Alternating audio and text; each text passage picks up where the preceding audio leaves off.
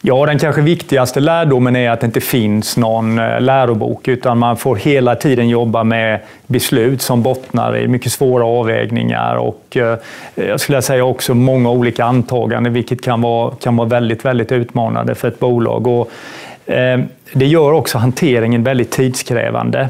Med detta sagt så vill jag ändå säga att eh, vi har fått väldigt bra respons från våra kunder för sättet som vi har hanterat detta på.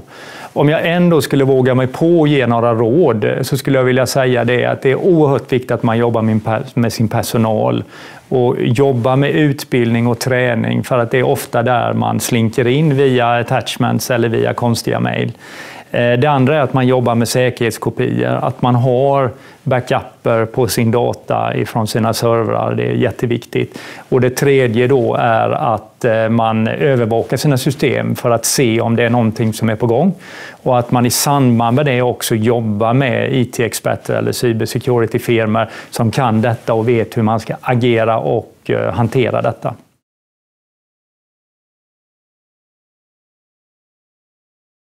Ja, vårt, främsta fokus sedan dag ett har ju varit att jobba ihop med våra kunder väldigt tajt och säkerställa deras verksamheter på ett bra sätt. Och, eh, eh, I början så hade vi kunder som hörde av sig till oss och ville veta vad det var som hade kommit ut. Och I takt med att vi ihop med kunderna har jobbat igenom dokument, har jobbat igenom den här situationen, så känner jag också att, eh, och hur vi hanterar riskminimeringen i sig, så känner jag att kunderna har varit och gett oss ett mycket stort förtroende Eh, och credit för det arbetet vi har gjort tillsammans med dem. Så jag skulle vilja säga att vi har eh, ett stort förtroende hos våra kunder.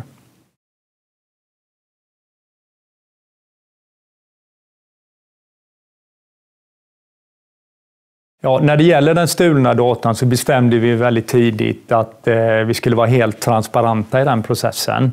Och, eh, vad vi har gjort det är att när vi har hittat känslig information så har vi direkt tagit kontakt med kunderna och diskuterat hur vi ska hantera just det specifika fallet.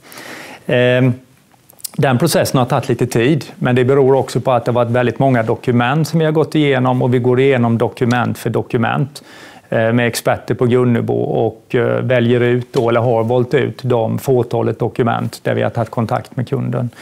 När det sen gäller själva innehållet i sig så eh, har det ju ren säkerhetssynpunkt varit väldigt få situationer där datan har varit känslig.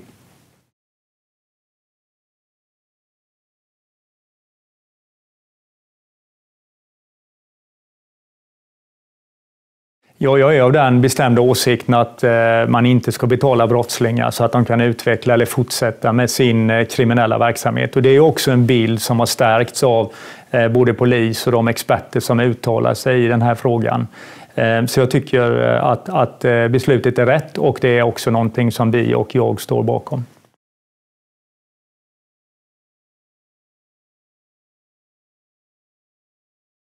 Ja, vi har ju haft en hög säkerhet inom Gunnebo och vi har idag en mycket hög säkerhet och vi kommer fortsätta investera i att eh, höja vår säkerhet. Trots detta så finns det tyvärr inga hundraprocentiga garantier för att sådana här attacker eh, inte kan ske igen.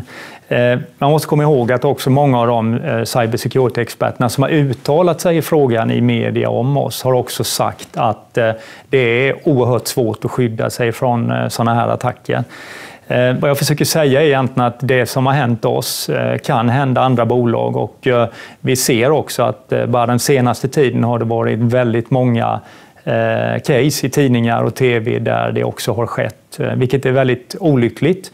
Och listan på bolag och myndigheter som angrips blir tyvärr längre och längre.